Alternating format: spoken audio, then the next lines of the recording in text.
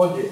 Bom dia. Bom, nós vamos apresentar a palestra sobre o cupom fiscal eletrônico, SAT, que vai entrar em vigor dia 1 do 7 desse mês, desse ano.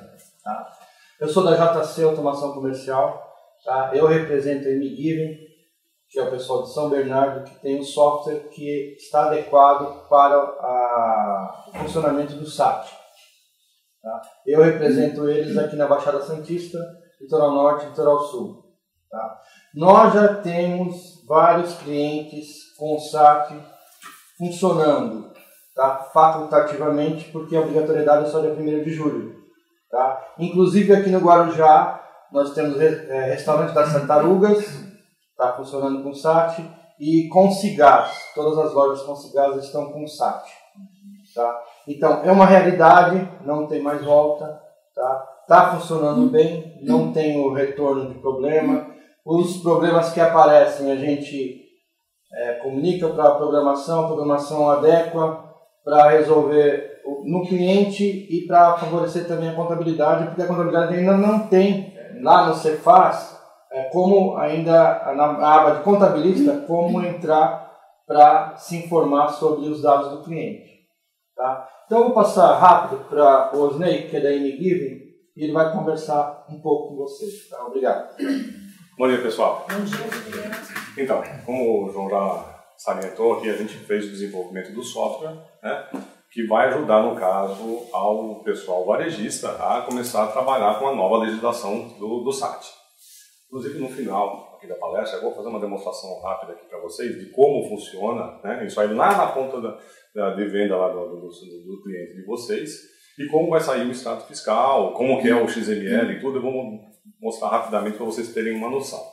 Ok? Nós somos os responsáveis, a gente já tem a coligação com o pessoal da Secretaria da Fazenda do Estado, desde o começo do projeto lá do, do, do SAT, então a gente também foi um, nós fomos um dos primeiros a desenvolver a aplicação voltada para trabalhar com o SAT e para justamente atender ao, ao contribuinte. E a gente vem, no caso, fazendo essa parte de workshop, principalmente com o pessoal do, dos contabilistas, porque no, no, agora, no dia 1 de julho, as dúvidas dos seus clientes, eles não vão vir até mim. Né? Eles vão vir primeiro no contador. Aí vai perguntar, ô contador, e aí, o que está esse negócio rolando novo, o que, que é isso aí que eu não estou entendendo nada? Aí você fala assim, não, acontece isso, aquilo, aquilo outro, se vocês quiserem, vocês podem até mandar aqui para a gente, que a gente pode esclarecer, ou até a gente fazer uma palestra né, para os seus contribuintes, para os seus clientes, é, referentes até o produto e como vai funcionar, o que vai mudar no caso para eles. Aqui vocês vão ter um apanhado geral para poder entender um pouquinho melhor, para poder estar tá passando informação para eles. Né? E aí a gente pode também estar tá trabalhando com uma coisa mais específica também para o seu cliente. Ok? No caso, a gente vai estar tá trabalhando sempre em parceria com vocês. Daqui para frente, a partir de 1 de julho, é uma nova etapa.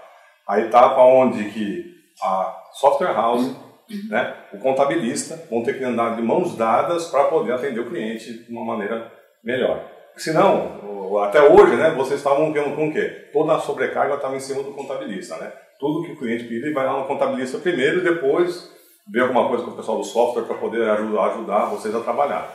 Agora esse negócio vai inverter um pouco e aí a gente vai ter que andar né, uh, inicialmente a quatro mãos, depois como contribuinte a seis mãos. Ok, pessoal? Eu vou passar agora para o Onofre que ele vai fazer a apresentação total aqui do site para vocês. Bom dia a todos. Dia. Meu nome é Onofre, eu sou da Informagem. Eu faço workshops, palestras, trabalho em parcerias com a JC e com a MGiving. O intuito hoje aqui, gente, não é formar, trazer é, informações técnicas basicamente para os contadores, tá? Um curso assim como vocês fazem, bem voltado para a parte de sistema de vocês. Nosso intuito aqui é mostrar um apanhado geral de todos os lados, mostrar para vocês algumas armadilhas que estão ocultas, né, é, que não estão exatamente visíveis por trás de todo esse processo, mas que pode gerar um impacto muito grande para todo mundo. Então, é, essa é o intuito dessa palestra, trazer uma visão legal para vocês de conhecimento. Pouco para o lado de vocês, bastante para o lado do cliente, que é que vai pegar mais, e como a software house pode entrar e ajudar nisso daí tudo, conforme o Osney colocou agora para vocês, tá? Alguém já teve algum contato com o SAT? Já ouviu falar alguma coisa dele? Já? Então nós vamos falar dele. É um sistema de autenticação e transmissão de cupons fiscais. O SAT hoje, ele é composto por duas partes. Ele é conhecido como CFE SAT. O CFE, que é a parte eletrônica, no formato XML, igualzinho ao NFE que vocês trabalham hoje, o XML da NFE. Mesmo molde, não exatamente igual, mas o, o conceito é o mesmo. E o SAT, que é um aparelho. Você trouxe o SAT? O SAT é um aparelho que ele vai fazer o papel da Cefaz no contribuinte. Basicamente, ele é um posto avançado dentro do contribuinte. Vai trazer muitas vantagens, vai trazer muitas facilidades, mas vai trazer muito controle também, que nós vamos estar falando sobre isso daí, tá? Ele vai conseguir fazer todo o sistema de autenticação mesmo sem internet. É uma das grandes vantagens dele é não ter, por exemplo, a obrigatoriedade de estar funcionando com a internet o tempo inteiro. Ele pode trabalhar offline um bom período e depois só fazer a transmissão dos dados depois para a Cefaz. Como é que está a situação hoje? Desde setembro do ano passado foi aberta a adesão voluntária. Então todo mundo que queria colocar o SAT, o que está querendo colocar o SAT de lá para cá, está aberta a adesão voluntária. CNPJs novos, ou pessoal que já está com a data de lacração vencendo, ou até o pessoal com voluntariado mesmo, quero colocar um site para ver como é que funciona. Está indo muito bem, nós já temos aproximadamente, acho que até agora mais, de 60 mil cupons com validade jurídica em produção. Tá? E isso está subindo dia a dia. São vários segmentos que já estão utilizando, desde postos de gasolina, parte de lojas de presentes, todos já estão utilizando com muita, muita segurança, muita facilidade, agilidade e não está tendo nenhum problema até agora. O que está acontecendo, inclusive, é um trabalho em parceria com a Cefaz. A Cefaz tem monitorado muito de perto essas empresas, mas não no intuito de monitorar o faturamento, mas monitorar o processo em si. O que está acontecendo, se está tendo problemas, é, se o layout de dados está adequado, se precisa mexer alguma coisa, e se tiver, por exemplo, alguma inconsistência, eles mesmos entram em contato com a software house e pede para ajustar e orienta, olha, preciso fazer isso, isso, isso. Não há ainda o processo de fiscalização, eles estão fazendo um processo de ajuste nisso daí, tá? E está bastante legal, eles têm feito um negócio muito eficiente e eles estão se mostrando que eles são muito eficientes em acompanhar bem de perto. Tá? Então, basicamente, o SAT é a substituição da impressora fiscal que nós temos hoje por esse equipamento eletrônico que vocês estão vendo. Tá? E esse equipamento ele tem algumas particularidades. Esse hardware que vocês manipularam, ele é blindado. Não tem como abrir isso daí. Ele tem um sistema interno dele, anti-violação, qualquer tentativa de, de, violar essa caixa, ele se destrói, ele se fica inutilizado. Isso é uma exigência da Cefaz para todos os equipamentos SATs. Então não tem como fazer manutenção nele. Parou, tem que trocar. Ele tem um software integrado. Esse software que trabalha lá dentro é um software que foi homologado na Cefaz. É o mesmo programa praticamente que faz a autenticação da NFE quando o cliente de vocês faz um pedido, manda para a Receita e a Receita faz a autenticação, gera o controle, gera todo o código de barra, ele faz tudo isso no contribuinte, tá? Por isso que tem que fazer esse programa aí que é da Cefaz. No início, lá em setembro, outubro, novembro, os primeiros que saíram, nós utilizávamos a, a chave do posto fiscal para fazer ativação do SAT. Isso mudou, agora precisa de um eCNPJ para fazer ativação. É uma, uma mudança que aconteceu um mês aproximadamente para cá. Ele precisa da internet, mas ele não precisa da internet o tempo inteiro. Ele só vai precisar da internet para fazer a transferência dos dados. Ele vai acumular temporariamente, depois nós vamos falar sobre isso daí. Ele vai pegar esses dados, todo isso tudo é o programa que está lá dentro, tá? Ele vai pegar esse dado, mandar para a Receita, a Receita vai acatar, vai analisar, está tudo ok, vai devolver uma informação para ele pedindo para excluir tudo que foi enviado. Ele vai lá, limpa a memória, não fica nada guardado lá dentro. Não pode sair da empresa, não é porque ele é pequenininho que se pode pôr no bolso e ficar andando. Tá? Tem que tomar bastante cuidado. Se tiver que transferir de um lado para o outro, tem que ir com nota fiscal. É o cartão de. Não CNPJ não, não. É, aquele cartão ou token, é certificado digital, que é o eCNPJ. Utilizado para fundo de garantia e também para ativar o SAT. É. O seu cliente não tem uma emissão de Nós nota? somos empresa. Oi? Nós Ah, somos tá. empresa, nós somos contabilidade. Ah, vocês são empresa. Isso. Você emite nota eletrônica? Sim. Não tem um, um cartãozinho que você espeta lá no. Aquele é o eCNPJ. Tá? É ele que precisa ser utilizado agora. Ele vai gerar um documento fiscal no formato XML, que é o documento que tem validade jurídica. Aqui, gente, deixa eu falar um detalhe para vocês. Está acontecendo, com esse advento do, do processo digital, a perda da sensibilidade do papel pelo cliente de vocês, pelo contribuinte. Tá? Eu já vi clientes nossos excluir o XML na minha frente, achando que era vírus. O pessoal começa a achar que é, perde essa sensibilidade e começa a excluir documento importante. Então, isso aqui é um trabalho também legal que vocês vão ter que fazer cada vez mais com o cliente de vocês. Esse, esse CNPJ aí, ele tem que ser qualquer, qualquer CNPJ, tipo token, Pode leitura, qualquer um.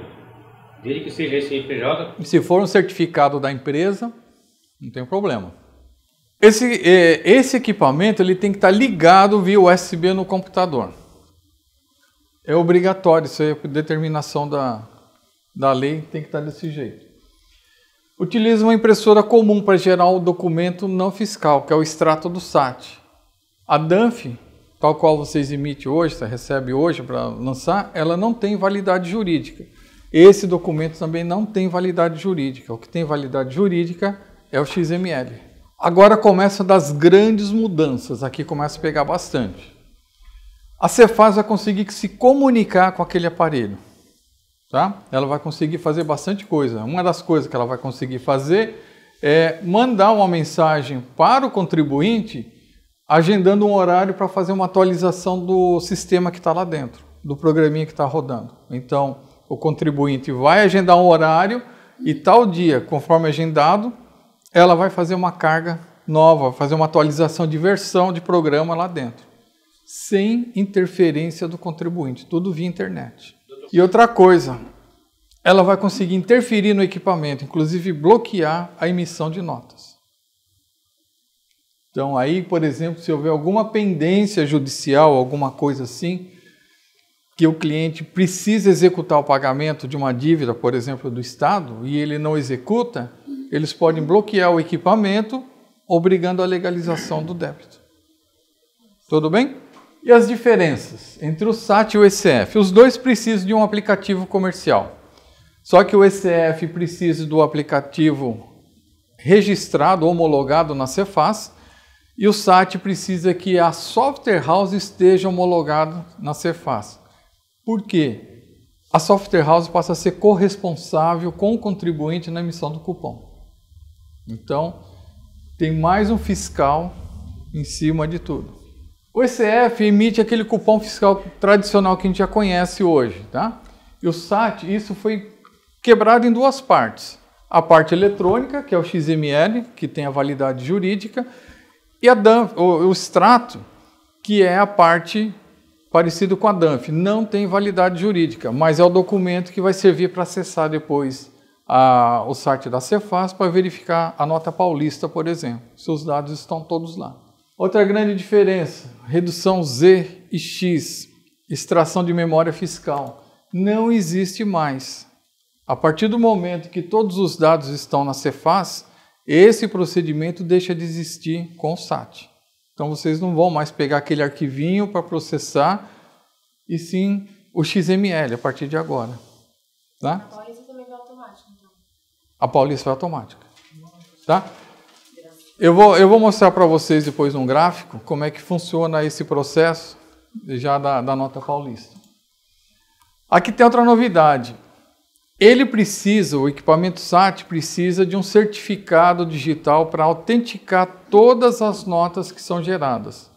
Esse certificado não é o eCNPJ, é um outro certificado que pode ser um particular da ICP Brasil ou o fornecido gratuitamente pela Cefaz. Na hora que vai fazer a ativação do sistema, escolhe-se qual modelo de certificado vai usar, provavelmente o gratuito. Ele é, ele é gravado dentro do SAT para que todas as operações de autenticação sejam validadas por eles. Toda vez que o cliente de vocês está querendo botar um caixa a mais, ele precisa comprar uma impressora fiscal a mais, mais investimento. Com o SAT isso não precisa. Ele tendo já um SAT, ele pode trabalhar através de rede, interligado com o computador que está ligado com o SAT, fazer toda a validação. Tá? Existem alguns critérios técnicos que a gente orienta o cliente para não dar problema de lentidão uma certa quantidade, mas ele pode colocar a princípio a quantidade de caixas que ele precisar de checkout trabalhando com SAT só. Tá? Então isso vai ficar bastante flexível para o cliente. Como eu falei para vocês, a ideia é mostrar o que vai acontecer no cliente de vocês, o que é que vai afetar vocês e como a software house pode entrar nesse, nesse circuito. Aliás, ela vai ter que entrar porque ela é corresponsável para ajudar isso daí. Vocês estão percebendo que tem muita parte técnica nisso daí. Isso não é o mundo de vocês. Essa é a parte da software house. Porém, quem é o primeiro contato do contribuinte? É vocês. Então vocês têm que chegar e falar: olha, quem é a software house do seu sistema? Liga para eles que eles vão te ajudar. É assim que tem que funcionar a partir de agora. E tem um detalhe bastante grande. Vocês estão percebendo que a responsabilidade agora começa a ser jogada para cima do contribuinte. Antigamente era assim, saiu uma lei, o contador tinha que ler, chegar lá para o contribuinte, ó, saiu essa nova lei aqui e tem essa nova guia que a gente vai ter que preencher, você vai ter que pagar. Saiu uma nova lei, mexeu na, na escrituração, mas tudo estava muito dentro do, do, do contador. Agora não, com esse processo, muito da responsabilidade veio para o contribuinte. E aí é que começa a fazer um trabalho de mudança de cabeça. Tá? Vocês estão percebendo que até agora eu só falei de, de do contribuinte, né? Só que essas dúvidas vai, vai ser direcionada para quem? Para vocês. Então essa é ideia de trazer esse esclarecimento para vocês entenderem o que vai acabar acontecendo. Tá? Que já está acontecendo, inclusive. É, como o João disse, ainda não está aberto um painel para contabilidade lá no Cefaz. Tá? O que vocês vão ter que fazer é receber o XML e lançar o XML. Então vocês precisam ver se os aplicativos de vocês que vocês têm na contabilidade já estão é, se adequando. É, não é se eles fazem, eles têm que fazer. Exatamente. Agora precisa saber se o layout já está pronto, se já estão pronto para processar a escrituração do SAT, é isso que vocês precisam é, se sensibilizar lá no escritório de vocês e já começar perguntar lá para o pessoal, é, sei lá, da Folha Matic, Conte Matic ou outros fornecedores que vocês devem ter, se eles já estão adaptados para começar a processar o SAT. E como é que funciona essa parte da escrituração. A, o SAT ele permite a emissão de dois tipos de cupons, o completo e o resumido. O completo é parecido com o, o, o, cupom fiscal que nós temos hoje, só que ele vai ter a mais o código de barra da chave, que foi autenticada, que foi liberado, e o QR Code. O QR Code, inclusive, já tem um aplicativo no site da Cefaz que o pessoal pode baixar lá no smartphone, faz a leitura e já acessa a nota paulista direto.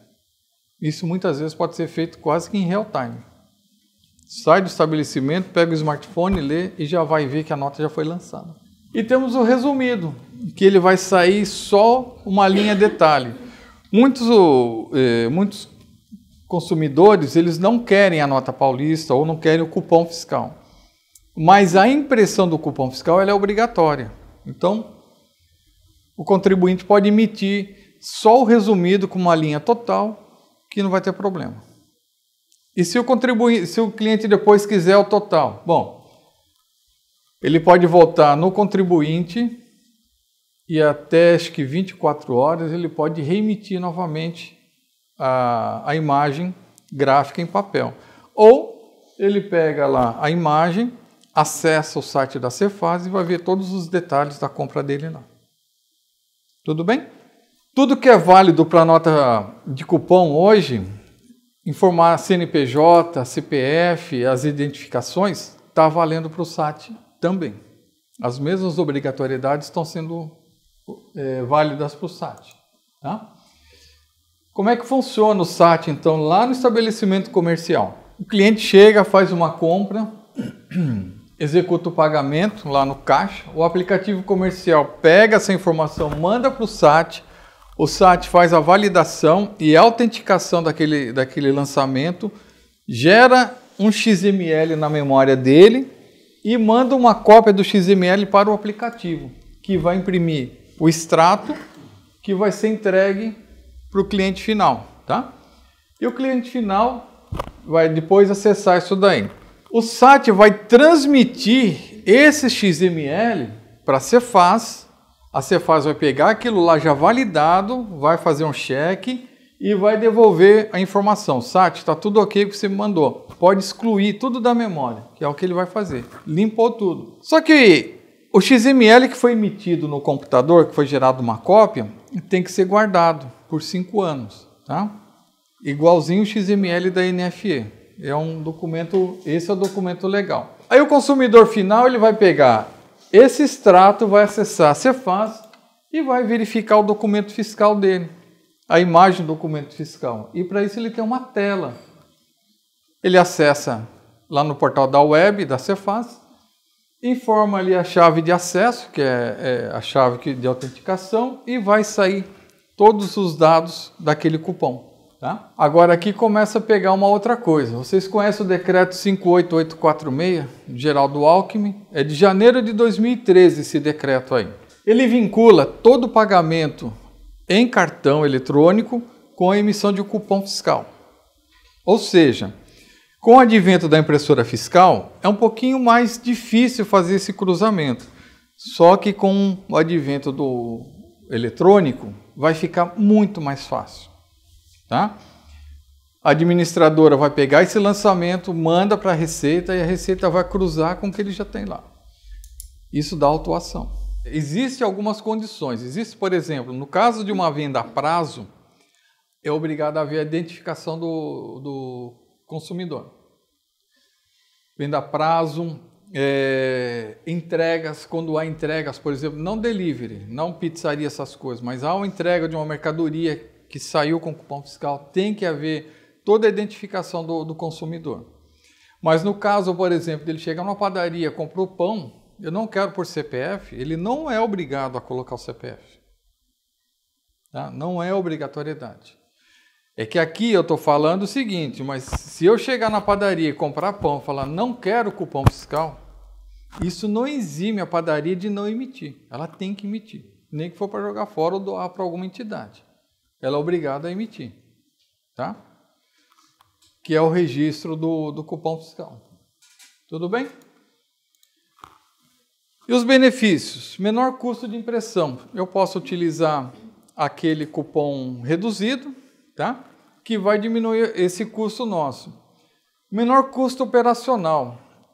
A impressora fiscal, toda vez que tem uma manutenção, existe o custo do lacre tem que pagar a, o rompimento e a lacração novamente.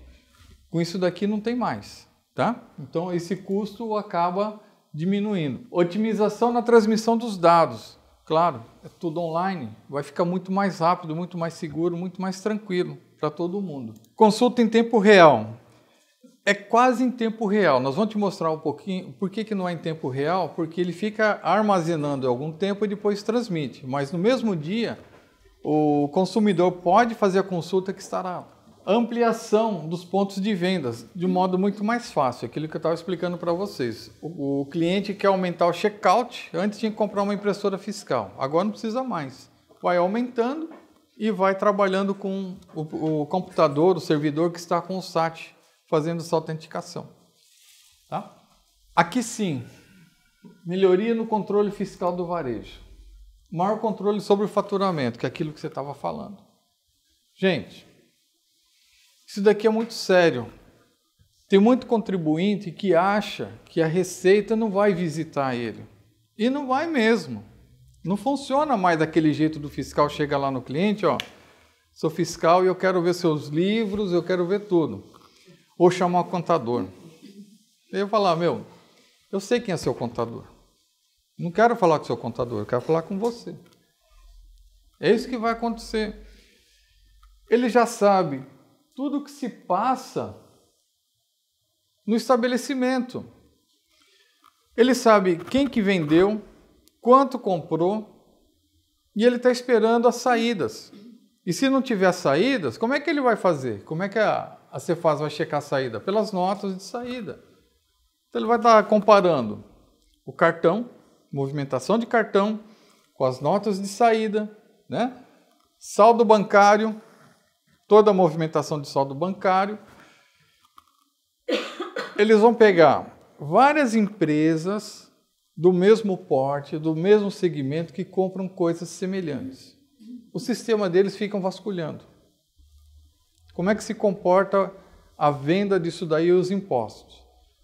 Se um tiver no desvio padrão, estiver fora, separa esse cara e olha. E aí como é que eles fazem? Não vai chegar lá, eu sou fiscal. Ele vai comprar. O fiscal vai lá, compra. Isso é história que a gente já sabe, né, que ocorre. Fiscal entra no estabelecimento, compra e pede o cupom. Aí o operador do caixa fala assim: ah, mas aí nesse papelzinho já tem o CNPJ da empresa. Tudo bem, ele não vai exigir. E ele vai embora. E aí outras vezes pode ocorrer isso daí. Tá? O que, que acontece depois? Só o laudo da multa. O contribuinte ele não acredita que o fiscal vai lá, que ele está sendo fiscalizado de uma outra forma. Com o SAT, isso é muito mais eficiente, gente. Agora, há um trabalho de vocês conscientizar isso daí, porque isso vai gerar barulho para vocês. Eles vão falar, mas tem que pagar mais um monte de imposto. Né? Existem muitas coisas que a gente percebe dentro do contribuinte, que a fuga de dinheiros, por exemplo, com desperdício, que é muito mais caro do que a diferença do imposto que ele vai pagar. Só que aquilo já está assimilado, é o sapato apertado, né? já usou tanto tempo que já acostumou com a dor. Mas se ele olhar o tanto de dinheiro que ele perde com aquilo lá, é muito mais do que o imposto que ele tem que pagar. Então, ele tem que andar direito. Junto com essa responsabilidade aqui do faturamento, entra a software house. Porque se ele burlar alguma coisa dentro do sistema, o que, que acontece? O CNPJ da software house pode ser bloqueado. E com isso, todo mundo que usa o sistema vai estar bloqueado. Então, não tem abertura para ninguém, gente. Tem que estar fechado totalmente. Tá? Aquele negócio que, por exemplo, chega no fim do mês, vamos emitir uma nota é, para ajustar o faturamento, não tem mais, é tudo eletrônico.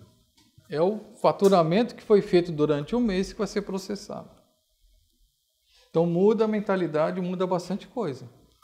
Maior controle sobre os dados cadastrais. Agora, como é tudo mais eletrônico, o NCM, as unidades de medida, tudo isso daí você tem que fazer um trabalho com o cliente de vocês bastante grande. Isso tudo tem que estar sempre atualizado e correto. Isso também. nem sabe o que é isso. Pois é. Só que isso.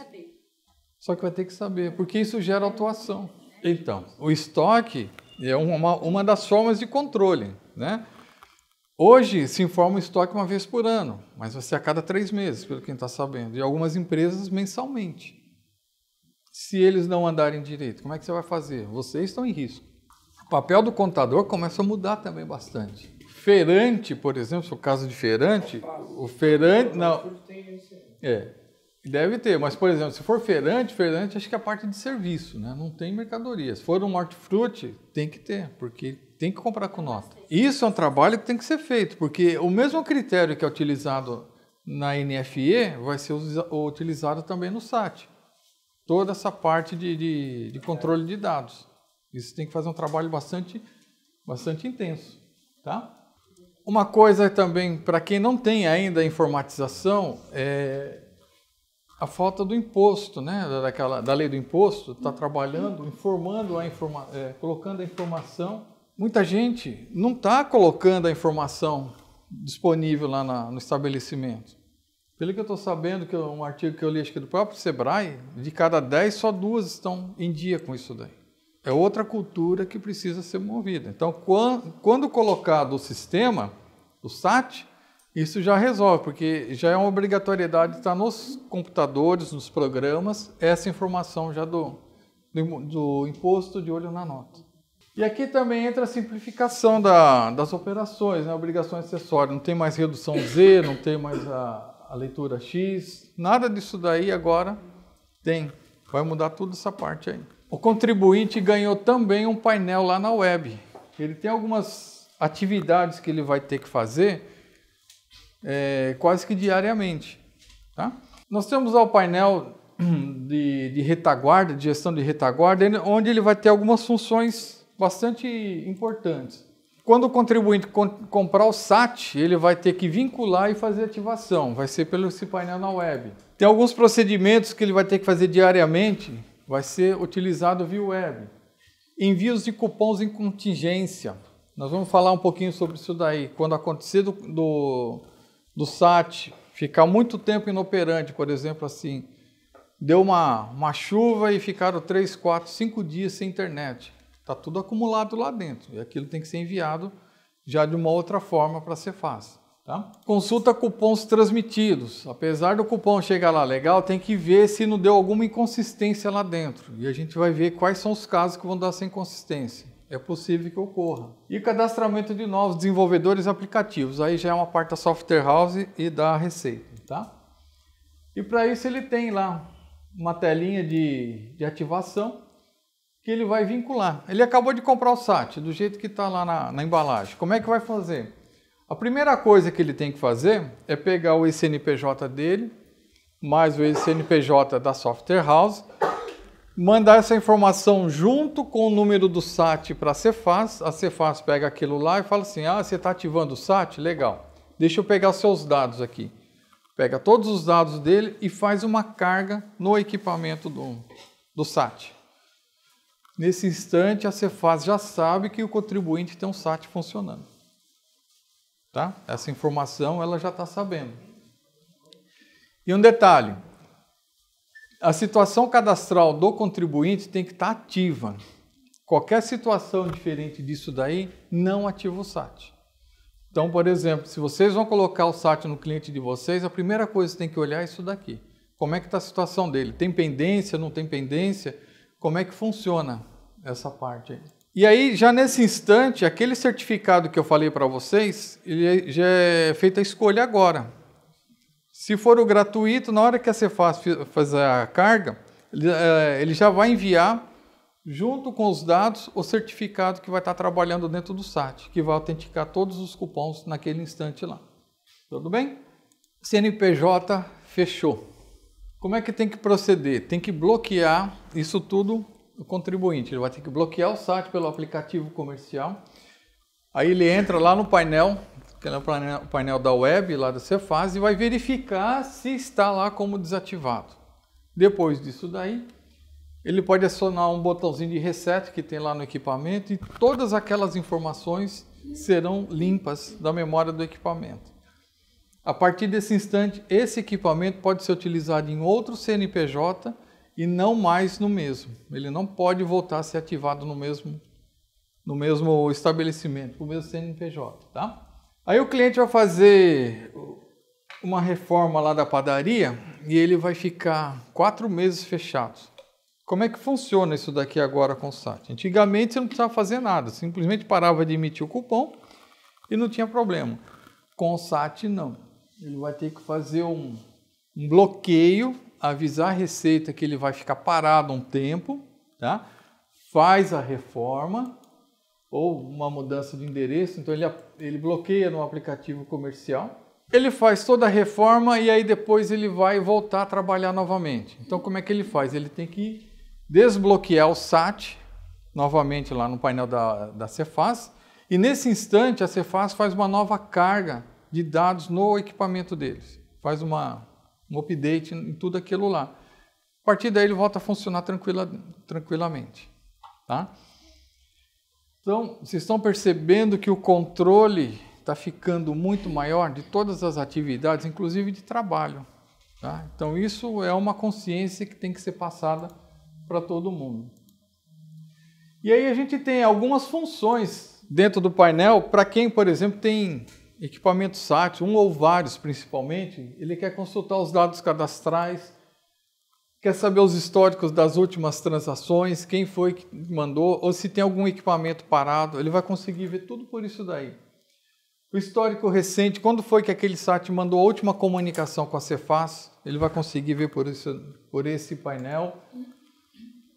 E aqui os consultas dos lotes, tá?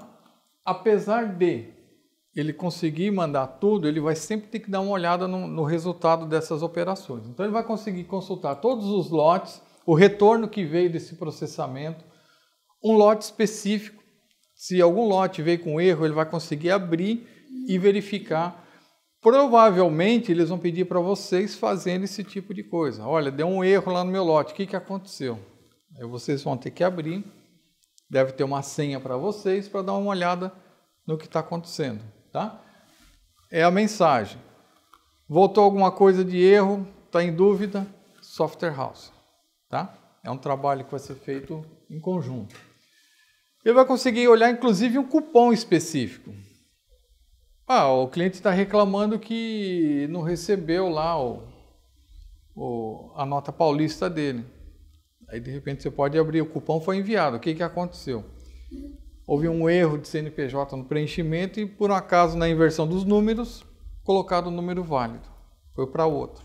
Às vezes você inverte uma sequência e aquilo acaba virando um, um documento válido. Normalmente quem tem que dar inconsistência é o programa, o aplicativo comercial. Ele já tem lá umas rotinas de, de dígito verificador que ele vai bater se está tá correto ou não já teria que eh, pegar por ali, tá?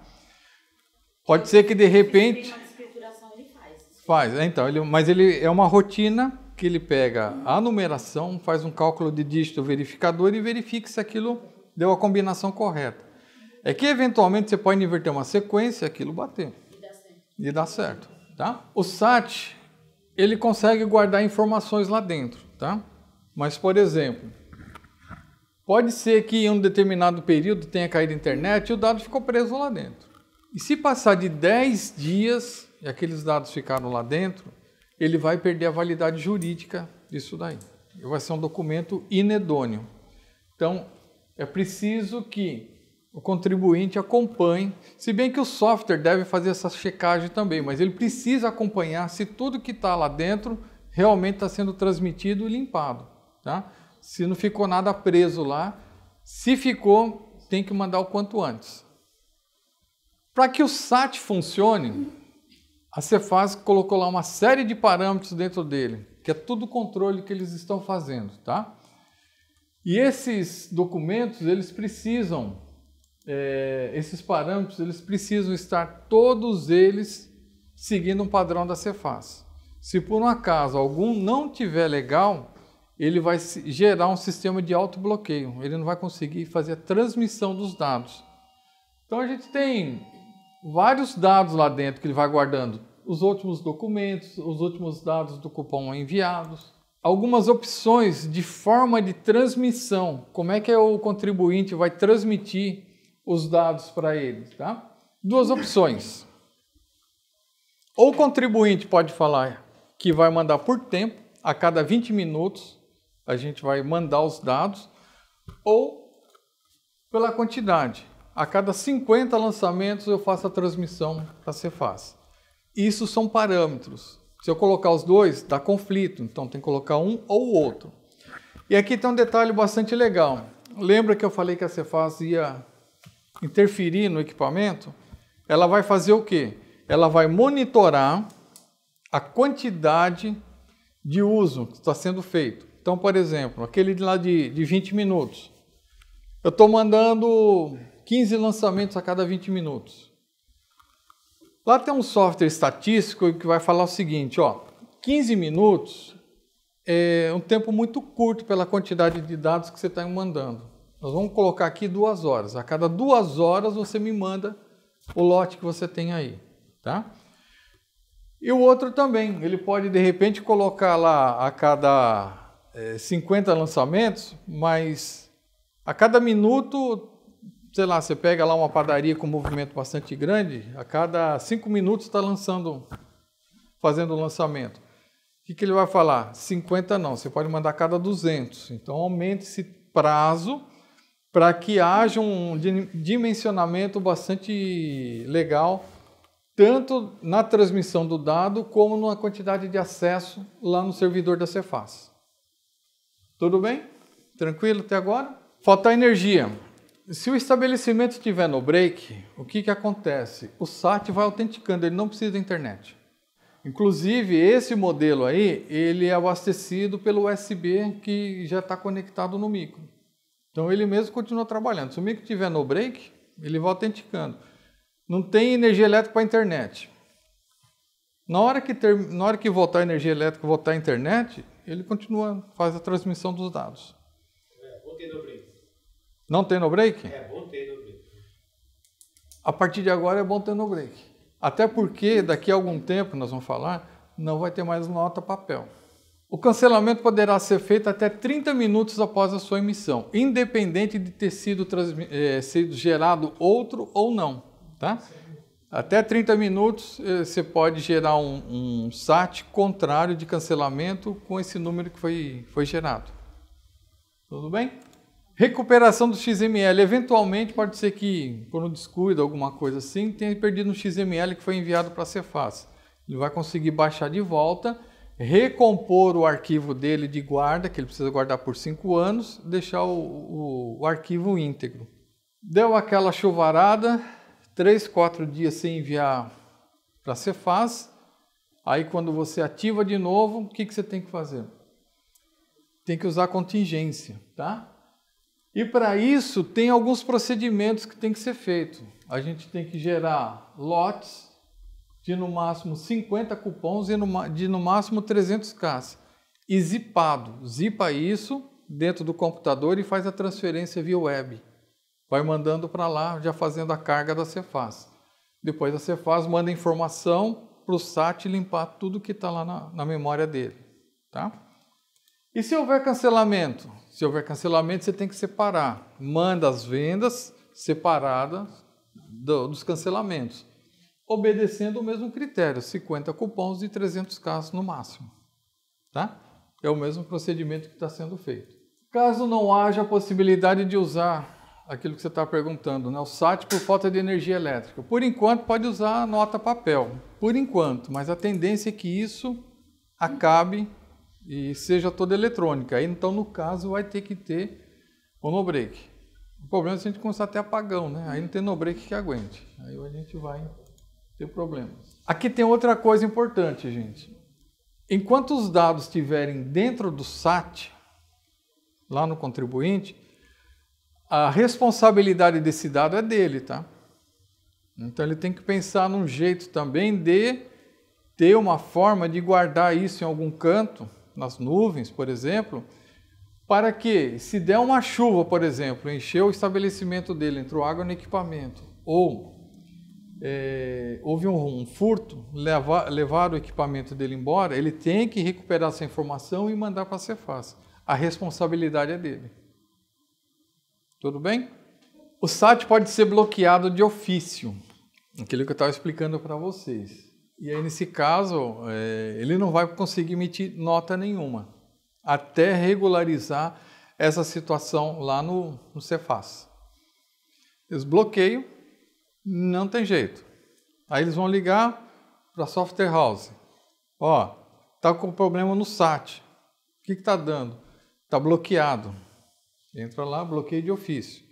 Eles vão ligar para vocês. Tudo que acontecer, encheu de água, perdeu, foi roubado o equipamento, tem que avisar a Cefaz para que a Cefaz bloqueie esse equipamento lá, eles é, façam o cancelamento desse equipamento para não ser usado por ninguém. Tá? Eles têm que ser avisados, é obrigatório isso daí. Existem algumas situações que pode gerar o erro, que aí é aquela importância da consulta do extrato, lá do, dos lotes, que tem que entrar. Quando é que pode dar erro? Bom, eu ativei o SAT, a situação cadastral do contribuinte estava como ativo, estava como normal. Só que o tempo foi passando e, por algum motivo, ele mudou essa situação. Ele continua gerando as informações normalmente, só que quando a Receita acata essa informação, ela dá uma inconsistência, vai dar um erro. Que então precisa abrir lá e ver que tipo de erro que está dando para poder sanar. No caso, o motivo pode ser uma alteração de, de situação cadastral. Tá? Aqueles SATs que foram retidos, aqueles lançamentos foram retidos dentro do SAT há mais de 10 dias, também, quando transmitidos, serão dados como erro. Haver uma inconsistência lá dentro. E pode ser que haja, em algum equipamento, por exemplo, um problema de geração de dado, que a gente chama de bug. Pode, de repente, a gente chama de sujeira, você não consegue abrir o arquivo, alguma coisa. Pode ser que ocorra isso muito raramente, mas é possível que ocorra, tá? E tudo isso daqui tem que ser escriturado, tudo tem que ser demonstrado lá. O seu, o seu aplicativo fiscal que vai pegar todos os XMLs e fazer o processamento, tá? Porque isso realmente não tem mais agora. É que como não abriram ainda a aba de contabilista, a gente não sabe o que tem lá tá? Mas tem uma aba, quando você entrar lá no, no SAT, tem uma das opções, acho que são quatro que tem, e umas é contadores. Não, você não vai emitir, é aquilo que eu estou falando. Provavelmente quem vai dar essa informação ou é o site da Cefaz ou é o seu programa de escrituração. Ou um arquivo fiscal, alguma coisa. Acho que o Osnei tem algo a mais, mais informações sobre isso. No nosso caso, né, a nossa aplicação comercial, ela gera contador um relatório resumindo, que é a mesma coisa da memória fiscal que você Sim. tem hoje. Né, de toda a movimentação dentro do mês, isso aí a gente já manda para o contador hoje. Hoje é a única coisa que ele tem, inclusive, para poder fazer o fechamento. Quando abrir a parte da conta, do contabilista, você vai poder checar um relatório que eu estou te passando, com o que está lá, você conseguindo importar o XML, você vai conseguir confrontar o seu XML com o meu relatório também, para você poder ter, ter ideia e confrontar com o que está mandado lá na, na, na, Secretaria da Fazenda. Tá bom? E aí o que, que nós temos aqui? Gente, isso daqui é relativo a SAT, tá? É tudo que acontecer relativo a SAT, que vocês tiverem que representar o cliente de vocês, precisa de uma procuração eletrônica que ele tem que entrar lá no painel e gerar essa procuração para vocês, tá? Sem essa procuração eletrônica, vocês não vão conseguir fazer nada em nome dele. Tá? Então tem mais essa novidade também. E como é que ficam as datas? As datas obrigatórias a partir de julho de 2015. Para quem? Bom, todos os novos contribuintes, todos os novos CNPJs a partir de 1 de julho deverão entrar com SAT, já obrigatoriamente. Então, quem está abrindo empresa agora, até junho, pode optar pela impressora fiscal. A partir de julho, só SAT. Tá? Alguém tem posto de gasolina aqui? Não? Posto de gasolina, independente da data de lacração da impressora, terá que obter o SAT, terá que ter o SAT funcionando no seu estabelecimento. Impressoras fiscais com mais de 5 anos de, de lacração, a partir de 1 de julho, tem que ser substituídos pelo SAT, obrigatoriamente. Aí independe do segmento, tá? Todas elas devem ser substituídas. Esse ano de 2015, todo mundo, todos os contribuintes de CMS que oferirem faturamento bruto de 100 mil reais neste ano, deverão virar o ano já com o sistema implantado. Então, se vocês têm clientes que já têm essa projeção, já começa a se preparar. O ano que vem, 2016 para virar 2017, 80 mil. E depois, em 2017 para 2018, acima de 60 mil. Aí fechou no MEI. Tá? Quem é MEI está fora, acima de MEI, sistema com SAT. Essa data da, da impressora de cinco anos, ela estava sendo mantida em todas as portarias que estavam sendo editadas até a portaria é, de novembro, tá? Que ela trouxe uma observação lá no artigo 27 dela, que fala o seguinte: que a Cefaz pode determinar o uso, obrigatório o uso do SAT a qualquer momento. Então, por exemplo, assim, um cliente de vocês abre um estabelecimento, um CNPJ, ele compra uma impressora fiscal hoje e ele teria cinco anos de uso. Pode ser que daqui a dois anos ele tenha que trocar pelo SAT. Tá?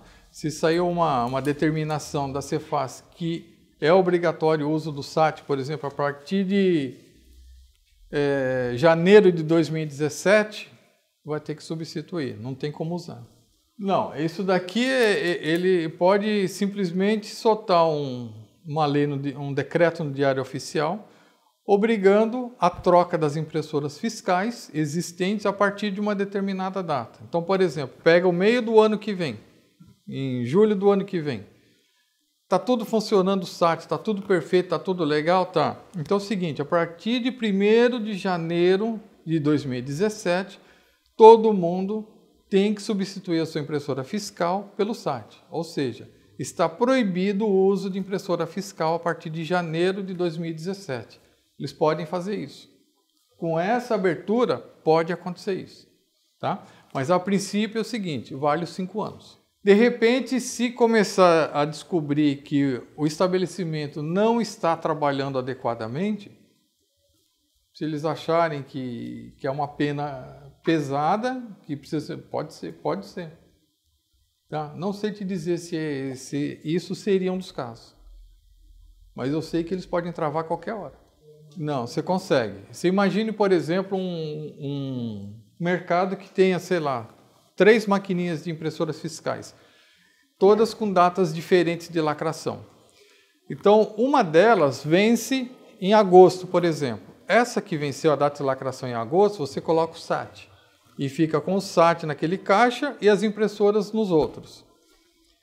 Venceu, sei lá, cinco meses depois, mais uma impressora. Aí o que, que você faz? Tira aquela impressora e aquele caixa passa a usar o mesmo SAT. E assim sucessivamente. Uma impressora normal hoje, ela custa, sei lá, uns 700 reais. E aí você vai pagar quase mil para tirar a memória fiscal da outra. Entendeu? Sem contar que, de repente, a impressora já está desgastada. Né? E aquela memória fiscal, o que, que acontece? Você tirou da impressora, teve um custo. Aí, de repente, você recebe uma, uma notificação que você precisa extrair a memória fiscal. Aí põe de volta na impressora e vamos imprimir. Aí vai ficar caro. Vale o investimento no equipamento novo. Funcionar, funciona. Já está funcionando. A gente já tem mais de 60 mil cupons é, com validade jurídica. Aqui em Santos mesmo, a gente já tem vários estabelecimentos. Depois o, é, depois o, o, João Carlos vai falar para vocês sobre isso daí, mas já tem vários estabelecimentos já funcionando. Liso, perfeito, sem problemas. 100 mil, se a pessoa quiser já colocar impressora fiscal, ele está legalizada, não precisa colocar o SAT, segundo a lei, esse ano, tá? E a lei fala o seguinte, que tem cinco anos de uso a partir da data de lacração tá?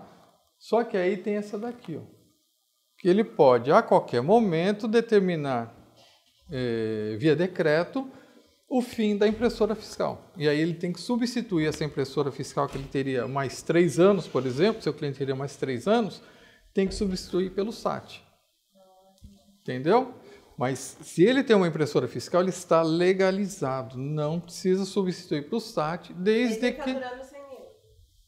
Mas se ele já tem impressora fiscal, ele estaria dentro da legalidade. O que ele tem que fazer é o seguinte: fatura 100 mil, só está tirando no papel, aí ele está irregular. Ele tem ainda esse ano, até dezembro, para colocar a informatização, colocar o cupom fiscal. Só que ele teria até junho, ele tem a opção de colocar a impressora fiscal. A partir de junho, só o SAT que aí entra 1 de julho de 2015, não pode ser mais comercializado impressora fiscal, só o SAT, tá? Mas ele tem que, dentro desse período de um ano, se ele fatura mais de 100 mil, obrigatoriamente tem que estar com cupom fiscal ou SAT, cupom eletrônico. O problema é, são duas coisas. Eu já vi amigo meu de postos de gasolina comprar impressora já no início do ano, já prevendo isso, tá? Só que posto de gasolina está fora. Posto de gasolina bateu 1 de julho, independente do, da lacração da impressora, tem que trocar. Então ele já perdeu dinheiro. Cinco anos. O que está mantido? Cinco anos. Mas tem uma porta aberta que pode mudar isso daí. Tá? Mas está mantida os cinco anos. O que, que, pode acontecer lá no contribuinte de vocês? Com tudo isso daí, o que, que é que que ele tem que tomar cuidado, que é uma visão agora lá para o lado do contribuinte para evitar problemas. Ele tem que ter um SAT de reserva. A contingência do SAT é o próprio SAT. Tá? Deu uma chuva, encheu o meu SAT que eu tinha lá e não tem outro, não tem como emitir nota. Tem que pegar o SAT reserva ou comprar outro, colocar lá e começar a utilizar. Não tem outra saída tá? Backup do SAT é o SAT. Precisa de um internet de qualidade, gente, tá? Às vezes você pega aquelas internet fica oscilando, dá problema de transmissão, dá problema de qualidade dos dados, apesar dele fazer toda a autenticação dentro dele, existe um momento que vai ter que transmitir esse dado. E isso às vezes pode ocorrer erro. Então, tem que ter equipamento de qualidade.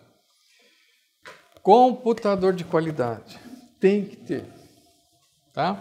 Às vezes o cliente quer colocar um sistema lá no 486 que ele tem, na época que ele fazia faculdade, ele nem atenta que a pilha já acabou e aí liga o sistema 1 de 1 de 77. E vai emitir cupom para você de 1 de 1 de 77. Claro que vai, deve dar um erro.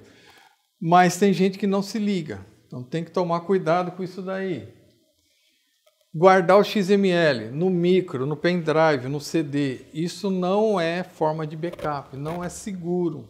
Micro pode ser roubado, micro pode ser queimado.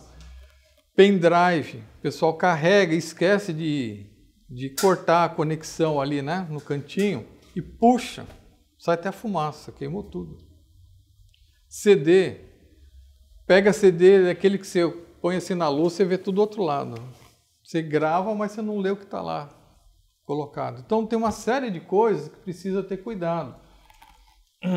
A guarda do XML, que é aquilo que eu estou falando para vocês. O cliente perdeu a sensibilidade do papel. O digital para ele é, ele é intangível. Então ele não consegue transferir aquele cuidado que ele tinha com um bloquinho de nota que ele colocava lá no arquivo morto para o XML. É porque ele já não tinha cuidado com o bloquinho. Ele não tinha cuidado. Então Realmente. E aí passa o quê? Só que isso é multa. Que nem, por exemplo, da NFE. Tanto o emitente como o destinatário tem que guardar. E muitos deles não sabem disso. Eles compram mercadoria, exclui ah, o XML, exclui. Então, isso são coisas que tem que ter cuidado, tá? Dados cadastrais, de novo, só reforçando, cuidado com NCM, unidade de medida, tudo isso daí é um trabalho que tem que ser feito com o cliente de vocês, tá? E agora um cuidado para o lado de vocês também, tá? Alguns procedimentos que tem que ser feitos, porque às vezes o contribuinte ele não tem muita habilidade na parte de, de informática, essas coisas. Então, por exemplo, você pega aí, quem tem aí umas 100 padarias, só para fazer um exemplo. As padarias mandam, cada uma, em torno de, de 100 a 200 XML, que são referentes às notas de entrada. Manda isso por mês, tá? Aí o que, que acontece? Quando ele coloca o SAT, ele passa a gerar 700 XML por dia. E se isso for enviado tudo no final do mês, sem uma, uma devida compactação, sem um devido tratamento nos arquivos, imagine que você pode receber até 2 milhões e 100 mil XML na sua caixa de e-mails. O que, que vai acontecer na sua caixa de e-mail? Vai travar. E aí, junto com isso daí, vai acabar acontecendo o quê? Não vai mandar todos os dados, vai atrasar o SPED, vai atrasar todo o serviço de vocês, vai gerar um estresse violento no escritório e isso precisa ser cuidado. Tá? Vocês precisam levar isso para dentro do escritório de vocês esse cuidado, porque pode pegar bastante para vocês lá. Detalhes que a gente orienta para vocês. Escolha um cliente logo e comece a trabalhar o SAT com esse cliente. Por quê? Você já vai se antecipar com um monte de coisa. Você vai pegar um cliente que é fácil de lidar com ele, ele entende todo isso daí que é necessário.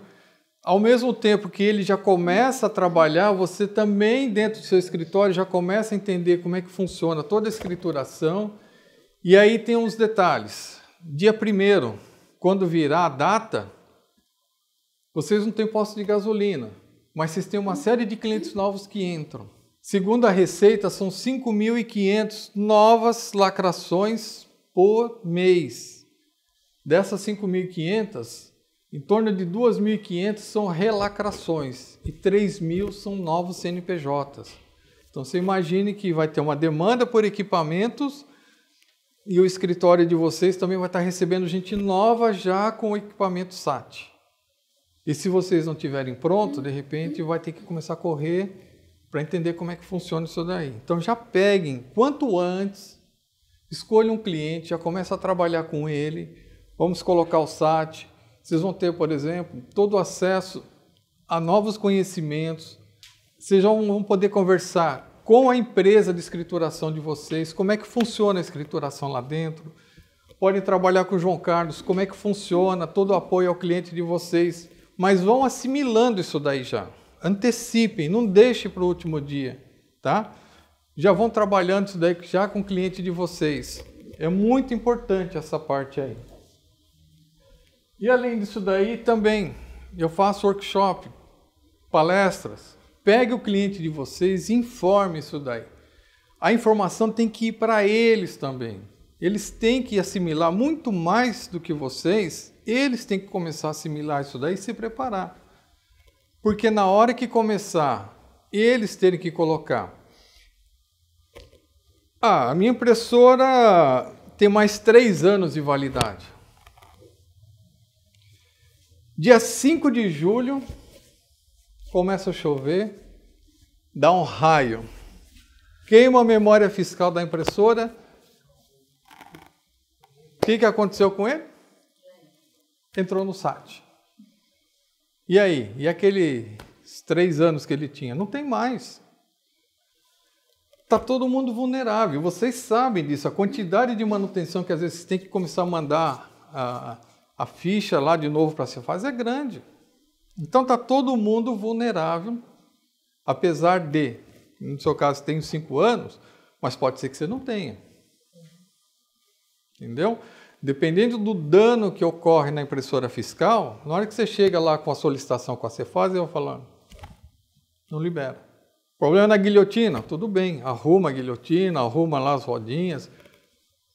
Pane na memória fiscal, pode ser que eles não liberem. Provavelmente não vão liberar. E aí você já tem que colocar o SAT. Por isso que é importante você já estar tá antecipando isso daí também. Tá? Se vocês quiserem, no meu site tem lá inscrições. A gente faz em São Paulo, ali em Santo André. Muito fácil. É importante passar essa informação. Também a gente pode conversar com o João, fazer coisas aqui mesmo. Mas essa informação tem que ir para o cliente de vocês para facilitar o serviço de vocês. Porque na hora de chegar lá e explicar tudo isso para eles, vai dar problema. Imagine que, por exemplo, aconteça, sei lá, a gente fala de experiência. Se dá um problema na sua impressora fiscal e eles não estão preparados, como é que faz? Você fica vulnerável. Então, de certa forma, se você colocar um SAT no seu equipamento, você já obriga eles a se prepararem. É isso que tem que acontecer. É o caminho contrário que eu estou falando para vocês. Se vocês começarem a se preparar, fala para o cliente de vocês, coloquem SAT, que é para vocês não serem pegos de surpresa. Tá? Vocês já estão antecipando. E assim, gente, é chave. Ó. Primeiro do set, chave, tech. Acabou a impressora fiscal. Pintou cinco aberturas de empresa, de empresa para vocês. E aí? É SAT. Não tem mais jeito. E você vai explicar o que para o cara? A primeira coisa que ele tem que fazer é um workshop. Tem que entender o que é que mudou, como é que ele vai trabalhar. Porque na hora que ele chegar, sentar na frente de vocês, como é que eu vou trabalhar agora? Assim, eu já aprendi que tem um hábito. Você já sabe que não tem mais jeito de fazer coisas que não são 100%.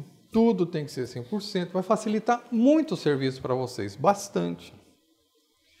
Essa é uma conscientização para vocês e que tem que ser passada também para o cliente de vocês, principalmente. Porque aí o que, que acontece? Nesse instante, fica tudo mais ou menos equilibrado de conhecimento. Todo mundo já tem consciência do que é, de como funciona e como lidar com isso. Tá? Tem bastante coisa? Tem. Mas a partir do momento que começa a mexer, é sempre as mesmas coisas. É hábito. Quanta coisa já não mudou da notinha para cá? Né? Tudo bem, gente?